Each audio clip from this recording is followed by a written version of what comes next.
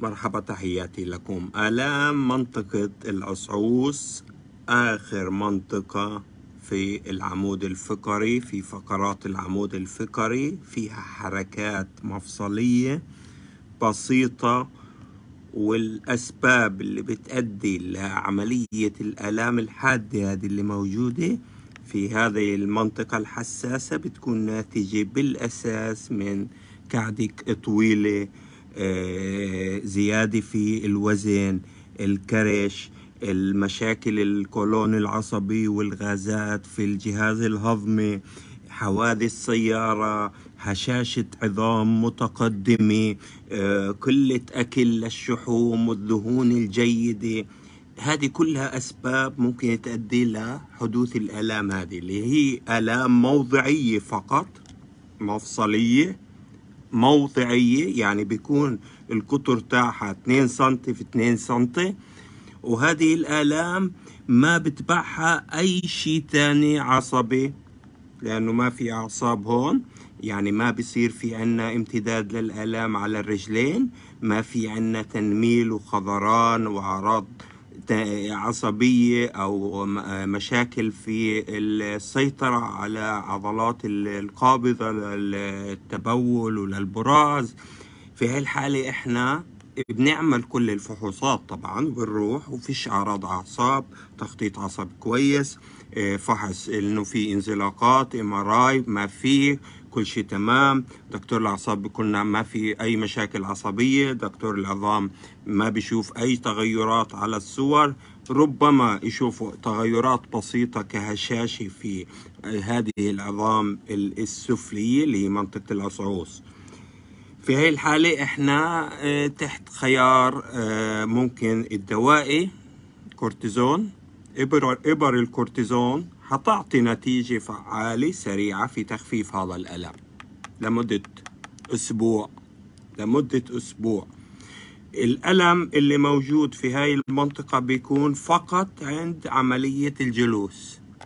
أثناء المشي ما في ألم. أثناء النوم ما في ألم. فقط عندما أجلس بصير الألم موجود وبيزيد. وبتزيد حدته وبيكون ألم مزعج. هذه مواصفات هذا الألم. طيب.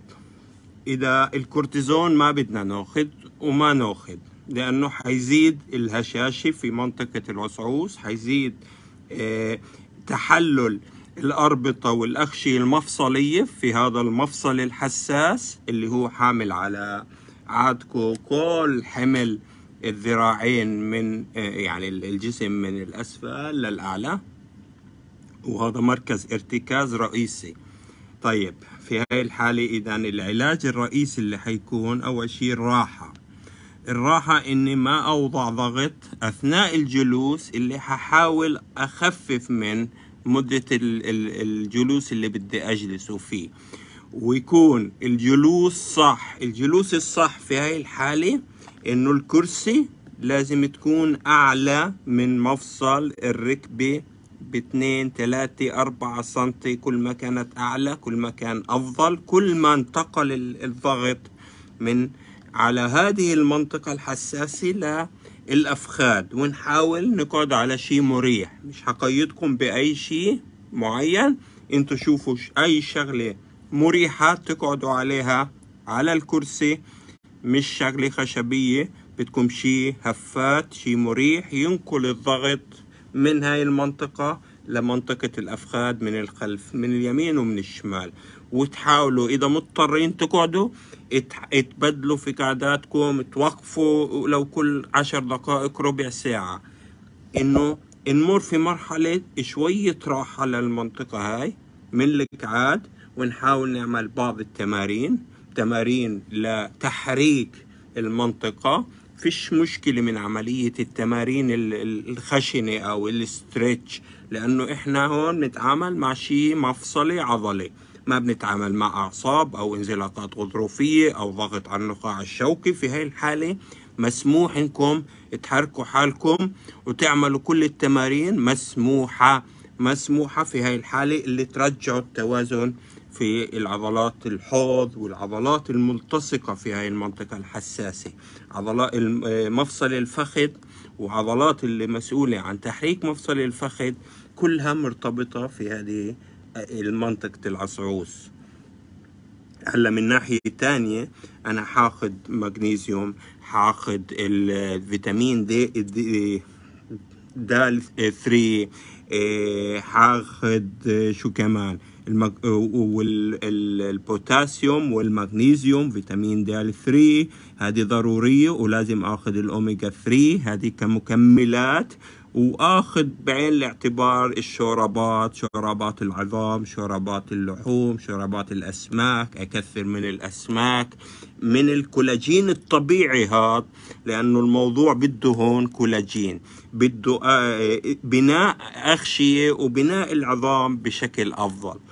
عشان نسرع من عملية البناء وتخفيف إذا كان في التهاب تخفيف حدته في هالحالة ما إلنا إلا يا إما الدهن بالزيوت المختلفة العطرية سواء زيت الزيتون زيت السمسم زيت الحب السوداء أي زيوت المهم نطري ونرطب المنطقة هذه ونسرع من عملية الالتئام. اللزكات العشبية الحارة كويس كتير إن نوضعها على المنطقة هذه. مرة في اليوم هذه الأمور تعمل مع التمارين مع شوية حركة شوية مشي شوية تليين مياه آه، فاترة أو كمادات مياه ساخنة قعدة صح ما نحن حالنا كتير ما نحاول ما نقعد كتير. وإذا قعدنا نقعد صح بوضعيات صح الحالة إحنا حن ننتهي من الموضوع هذا.